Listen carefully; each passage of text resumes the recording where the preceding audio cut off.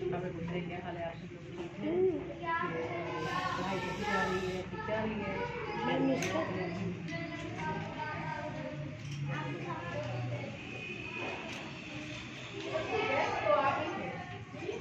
best तो आप ही हैं